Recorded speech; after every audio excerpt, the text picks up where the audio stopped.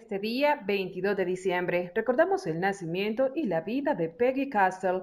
Nació el 22 de diciembre de 1927, falleció el 11 de agosto de 1973.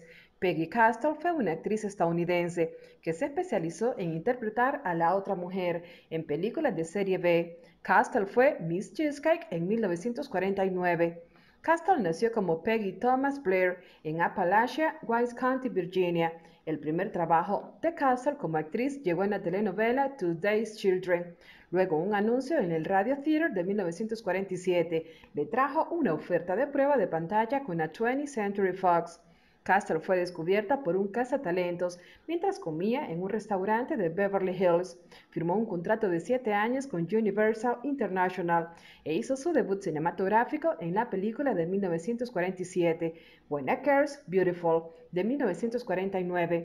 La Asociación de Restaurantes del Sur de California la nombró Miss Cheesecake. Más tarde, ese mismo año, la Cámara de Comercio Junior nombró a Castle Tree Alarm. En la década de 1950, Castle se trasladó a la televisión. Apareció en múltiples papeles como invitada, como en Far Side Theater, Cheyenne, 77 Sunset Street, The Restless Count. En 1957 apareció como Amy Curtin en Cheyenne, en el episodio titulado The Spanish Grant.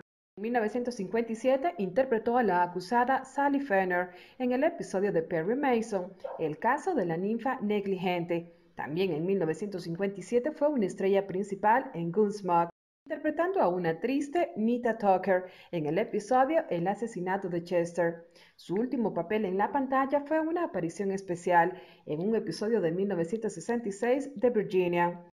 Castle sufría de alcoholismo. El 11 de agosto de 1973, su tercer marido, William Matt Carey, encontró su cuerpo en el sofá de su apartamento de Hollywood. Más tarde se determinó que su muerte fue causada por cirrosis. Esto fue parte de la vida y la historia de la actriz estadounidense Peggy Castle, recordando este día 22 de diciembre la fecha de su natalicio.